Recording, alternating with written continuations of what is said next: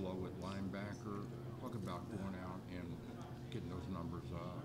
How important that was. Well, it was important. Um, you know, we, we initially, um, you know, we initially did not plan on have, taking that many, but what became apparent was when we looked at best available guys after that early signing period was that several there were some linebackers out there that uh, were good and could help us and improve our, our team as a whole. And so, even though we might not have originally planned as going quite as heavy as we did, we um, it was pretty easy to warm up to that idea when we saw the quality of players that we had a chance to get. And you know, we had a um, we, we wanted to improve kind of the framework, uh, body type wise, of the guys in our room, and we were able to accomplish that. We, you know, definitely always place a premium on fast and physical guys, and uh, so we found some really good body types. You know, uh, there's some guys in there that will grow and develop from a strength and, and uh, you know, physically uh, from that standpoint during their time here. But uh, you know, you can't coach six three, you can't coach six four, and you can't coach, you know, great wingspan and tackle radius, and those are things that we wanted to recruit, and so we were fortunate enough to do that. Uh, but that that group of guys, I love their makeup in terms of character, the type of people they are. Uh, they come from great families, and I really think that um, I really think we uh, got some really, really good football players that are really, really good people in that room. You are familiar with Jerry Jacobs, uh, obviously. How did that, you know, what kind of players are some? So Jerry, uh, Jerry played for us at Hutch. Um, he redshirted a year and played a year. Um, really, really talented young man. You know, he, he's a guy that played safety initially for us and then ended up playing corner uh, went to Arkansas State, had a really good uh, first year there with them, and then got hurt, of course, this last year. Um, had done really well academically, both at Hutch and Arkansas State, and was able to graduate in December. And uh, but in terms of the type of player he is, you know, Jerry's very versatile. He's got great man cover skills, uh, very physical. Uh, he's a really strong kid, and when you you know, kind of look at his body type, see how he's put together. Um, he is a really lean, heavy muscled guy, um, really high hipped and, and uh, very athletic build. Uh, but he's a physical kid too. He he, he embraces that uh, the the tackling part of playing DB, you know, and not all guys do, but he really does. And he he again has really really good cover skills. He'd be a corner or safety here Do you know yet?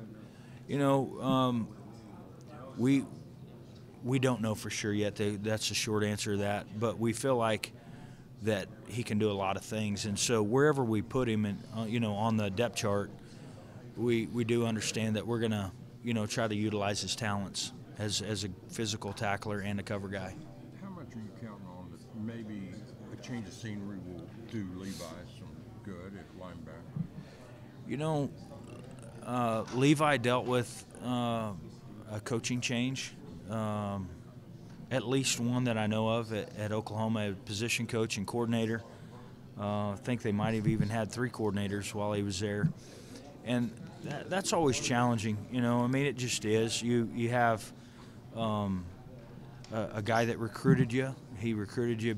He knew you well. He um, did his homework. He had a good idea of what your skill set was and how that would fit and what they were doing defensively, and then things change, and that and that makes it tough. So, you know, sometimes guys can get lost in the shuffle of a coaching change, and, and I think that might have had uh, might have been a factor for Levi. And so, back to your original question, I would say a change of scenery does him really well, and he's going to get to play for the guys that recruited him here, and I think there's a lot of value to that go back to a comment Coach made yesterday about your recruiting and how you didn't have to be a Division One head coach to, to see that you uh, did a great job in your first real true recruiting uh, on this level.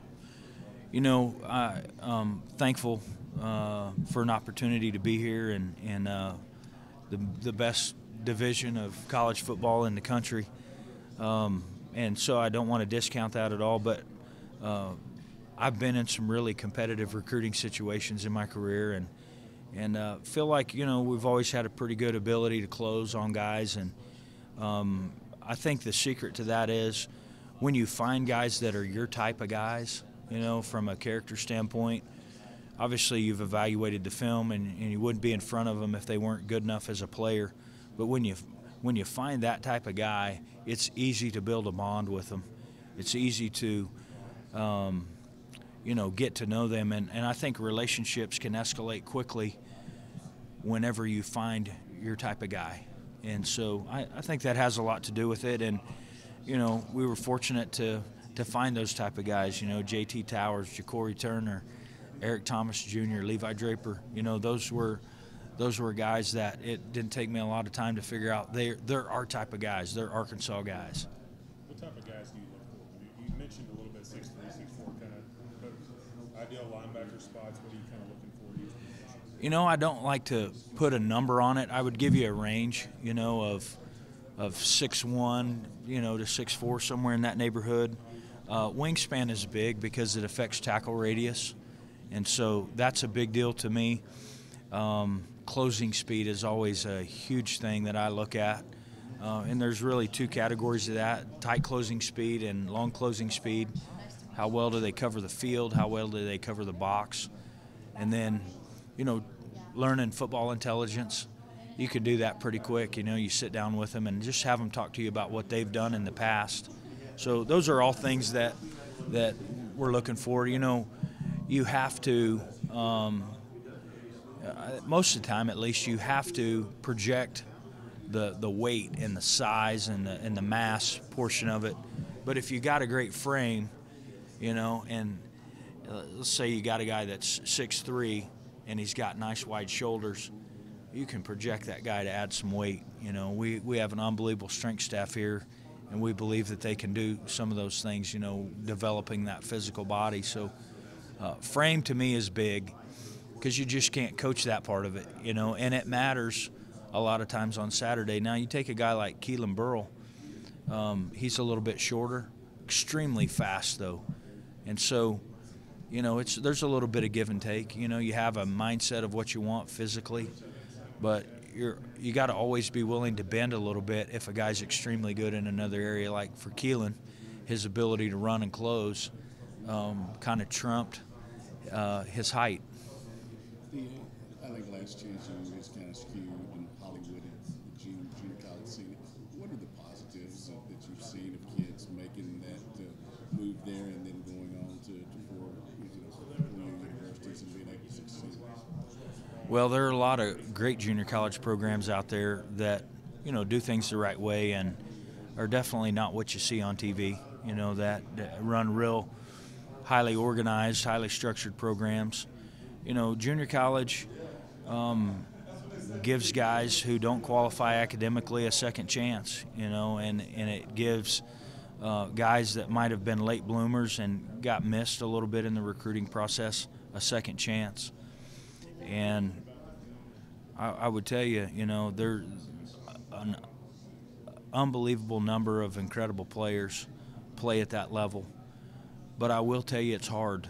You know, it is. It's um, a lot of times it's it's tough because uh, they're not always on full scholarship. You know, uh, so sometimes money is a struggle.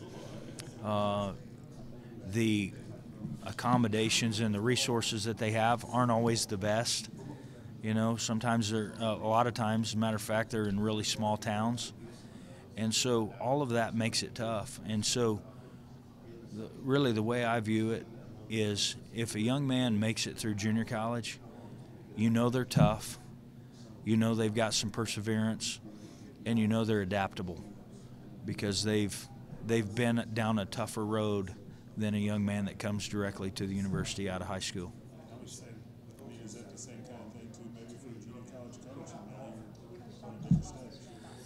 You know, um, it is. You know, I mean, there there are some different challenges for like me as a coach. uh, one of the major challenges I always faced was turnover.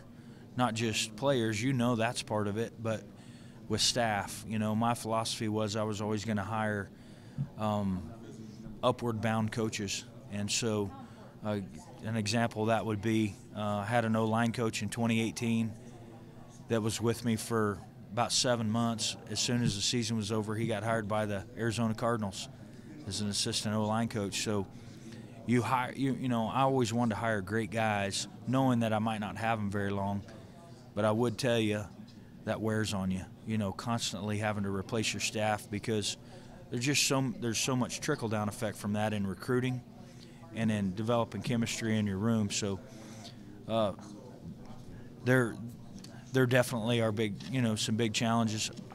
I feel like I was a little bit in a unique situation at Hutch from a resource standpoint. We had great academic resources. There was a there was a really good financial support from our uh, community of supporters and the school, and so I was a little you know Hutch is a little bit of a unicorn in that way.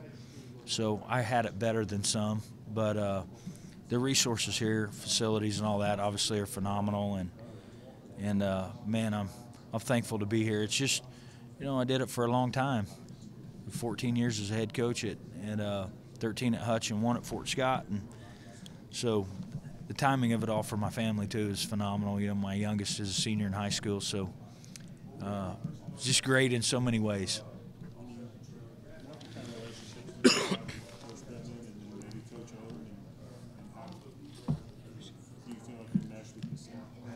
Well, Coach Pittman and I go way back. Um, he recruited me out of high school, and uh, I, you know, I signed to play with him at Hutch, and and uh, he got an opportunity to leave after a year. So um, he was only my coach for one year, but the bond that we built during that time was special, and so have been in touch with him over all these years, and he's been a huge part of my life ever since he was my coach, and uh, kind of like a second dad to me, you know, and. Um, he and Jamie have really taken in our entire family, my wife and my kids, and and uh, so that part of it's really special.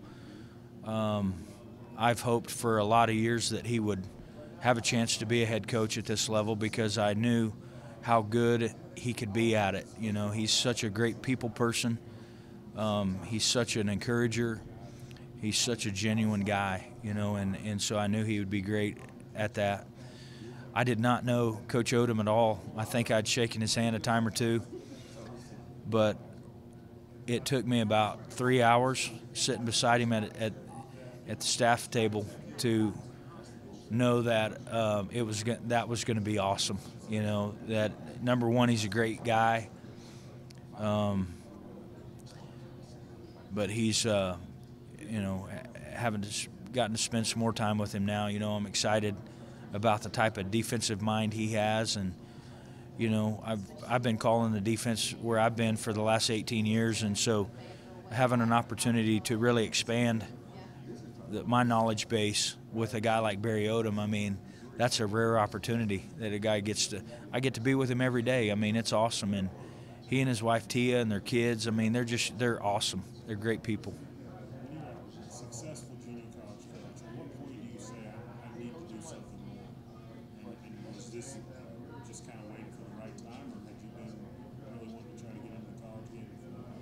You know, I had I had uh, investigated, I guess would be the best way to say it, some opportunities at different times. Um, when, when when my daughter graduated from high school, I thought that was maybe a good window for us to to maybe make a move as a family, and and so.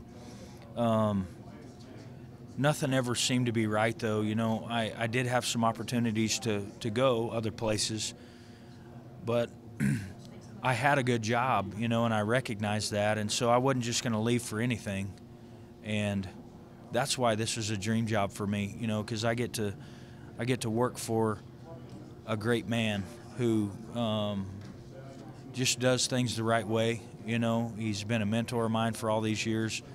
That part of it's great and the best conference in college football and one of the best places to live in the world, you know, in Northwest Arkansas. So it just, man, it's I, I can't tell you enough how big of a deal it is and how complete of an opportunity it is for me. It's like there there are no drawbacks other than we have a lot of great friends in Hutch that we, you know, won't get to see every day, but they'll still be a big part of our life. So it's it's a it's a dream come true.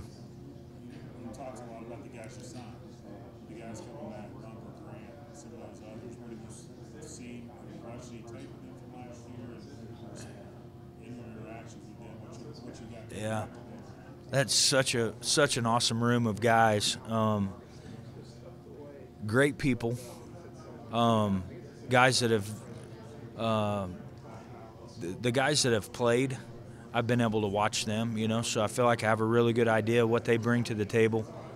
Um, but what I've been able to gain since I've been around them more, and even over the Christmas break after I got hired, I talked to them a lot on the phone and got to know them a little bit, but they're they're unbelievable guys that all they want to do is work hard, be great teammates, and win. You know, and they've, I, you know, I think they've appreciated our relational approach. Um, we've been around them as much as we possibly can. They've enjoyed that a lot. I think that was maybe a little bit different than what they were used to, and so it's been great. You know, I mean, I um, I might get some arguments from other guys on staff, but I feel like I got an unbelievable room, uh, not only of guys that can play, but guys that are fun to be around and guys that can lead our football team.